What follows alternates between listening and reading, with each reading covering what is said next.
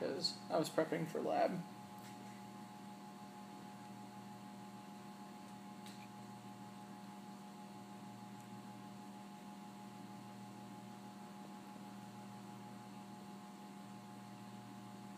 It's like there's this magical force field in front of me that won't let me get through.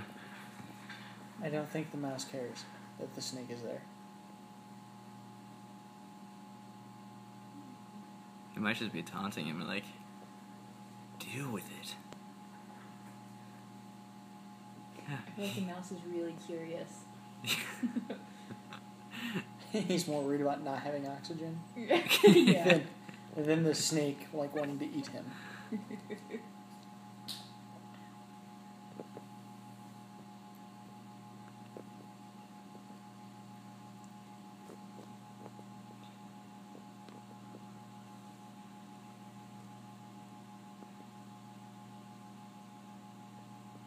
Maybe if I chew my way out.